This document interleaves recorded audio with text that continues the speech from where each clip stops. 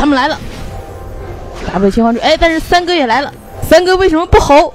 三哥，三哥为什么没有冲上去？这三哥技能呢？三哥技能呢？三哥是上来帮你吓人的。这三哥 A 了两下之后就走了。嗯，但是看刚才 A 这个阿卡丽 A 了几下之后，他就已经很疼了。对。其实猴子它也是自带一个破甲的技能，所以说打人的时候也是非常疼的。但这个破甲技能的话，你要学 Q 才行，而且这个 Q 技能的话，还是能够加长你的这一个攻击距离的。然后 E 技能用完了之后呢，是可以提升一段时间的攻击速度的。对，一定时间内提升一下攻击速度。W 的话就是一个你放一个假猴子，但你要记住，在你有攻击动作或者说是在不停走的时候放这个假猴子的话，是非常容易被敌方给看破的。所以最好是原地不动的时候。对，但有的时候紧急的话，你千万你你你你也就随便了。嗯。因为毕竟还是能够。迷惑一下技能的，因为你你直接对方，哎，这就是要骗人的时候有一个技巧，就是原地先按一下 S，嗯，然后再按 W。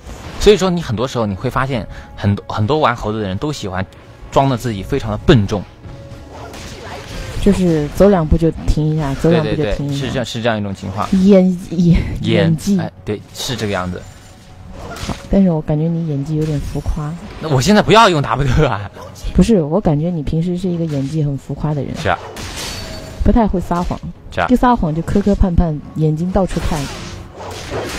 好，这个跟那个问问题应该不是太大。你看这个 Q 完了 E 到他脸上，然后连捅他几下，非常疼。对，但我看到他身上带了一瓶大红药，因此我也是不准备跟他特别的血拼，我要是打算是这样慢慢的跟他转。哦，他放了个 W，你也放一个 W。嗯。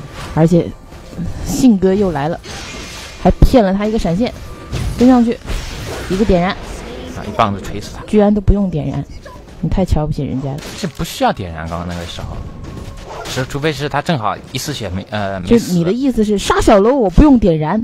这样，是这样吗？有人帮我来抓了都已经。哦，哎，我还拱不起这火来了。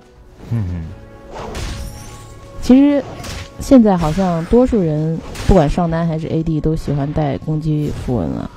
对的，因为现在的话，因为也是护甲穿透是遭到了一个极大的削弱，所以说带固定攻带固定攻击力的话会比较的划算。说什么？多兰剑吗？鞋子。嗯。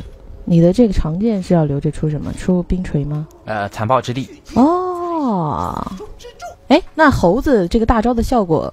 用黑切的话啊，能够触发的是是吗？对，因为它是物理伤害技能，就例如就如同女枪的大招一般，所以它就是在越转越疼，越转越疼。对对对对对。